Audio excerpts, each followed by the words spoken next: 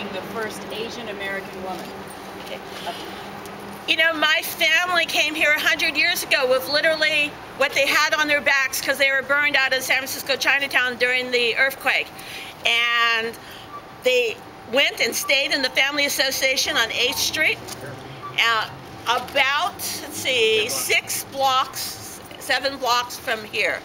And my father worked at the Hotel Leamington as a union cook um, about four blocks from here. So my family history goes back a long time. I think that when the votes are counted, you're going to see I got an overwhelming turnout from the Asian American community. They've been waiting for a long time to have an Asian American mayor, but I hope to be the mayor of the whole city. I've worked my 20 years for all the kids in Oakland, for all the people of Oakland, um, but I do know that across the country that this is really, we beat San Francisco, we beat San Francisco in electing an Asian American mayor, and we're very proud today.